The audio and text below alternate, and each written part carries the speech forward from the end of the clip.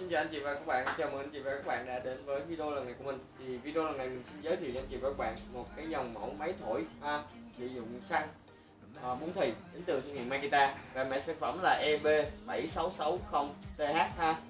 Con này thì nó sử dụng nó trọng lượng của nó là khoảng 10 kg nha anh chị nha. Đó, bao gồm đầu nối đầy đủ hết cho chúng ta luôn.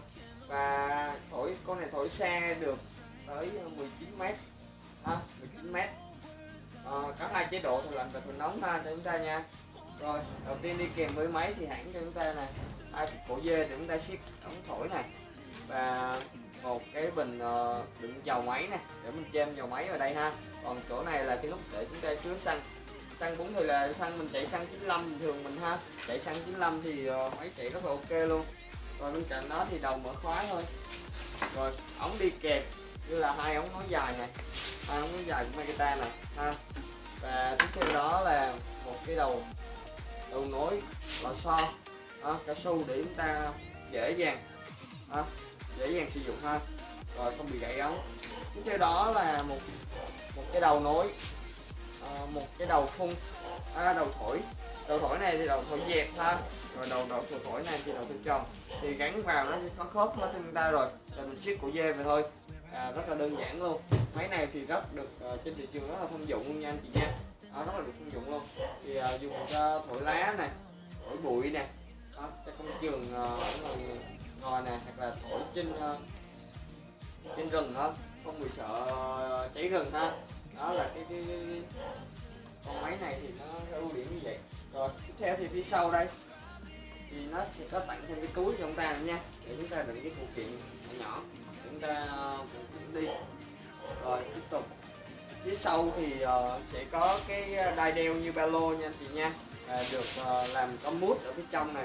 À, bên cạnh đó thì bên ngoài thì được làm bằng vải ra rất là mềm. Logo Makita được in nhập nổi ở hai bên đeo luôn rất là đẹp luôn. Và phía dưới thì nó sẽ có mút đầy đủ hết mút rất là dày. À, rất là mềm không có cứng luôn nha anh chị nha. Phía dưới là có cái bộ phận tản nhiệt này. À, túi này túi chúng ta ở đây thì chúng ta sẽ có thể đựng đồ trong này cũng ha túi lưới rồi phía dưới cũng có mút cho chúng ta nha. Đó máy rất là đẹp luôn lượng 10 kg đây là cái bộ phận công tắc này. Đó công tắc công tắc rất là dài ra. Rồi bộ phận nối ống nối ống dài đi vào đây. Đó để chúng ta dễ dàng sử dụng luôn không bị ờ, bị rớt cái ống ra ha. Rồi máy rất là đẹp ha chị ha. Đó phun xe tới 19 mét. Chạy xăng ờ, 4 thì rất dễ dàng sử dụng rồi. Đó, xăng 95 thì chạy rất là ok đây là cái nút để chúng ta kéo động cơ ha. Kéo động cơ đây. Đó kéo động cơ này. Rất là đơn giản ha. Để sang vô nó mới nổ ha chị nha. Rồi đây thì nút ờ, điều chỉnh ờ, chế độ này. Ha điều chỉnh chế độ lạnh nè nóng này đó ở trên này nó sẽ có ký hiệu cho chúng ta hết.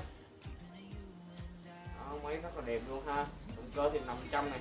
Vỏ thì ờ, con này sử dụng vỏ thì được làm bằng uh, chất liệu nhựa rất cao cấp đến từ nhà Makita rồi. Bên cạnh đó thì cái đây là cái đường ống này đường ống để chúng ta thổi ra này và phía dưới này nó có bộ phận lò xo để chúng ta giảm sóc này đó chị thấy không? Đó, giảm sóc cho máy của chúng ta luôn. Rất là đẹp ha rất là chuyên dụng. Rồi nếu anh chị nào có quan tâm, muốn biết thêm chi tiết cái dòng sản phẩm này để liên hệ số điện thoại truy cập đường link website dưới phần video ha. Cảm ơn anh chị và các bạn đã xem video lần này của mình. Nếu anh chị để hay thì cho mình xin một like subscribe để có động lực review những cái dòng máy thổi khác ha. Xin chào và hẹn gặp lại anh chị ở những video lần sau.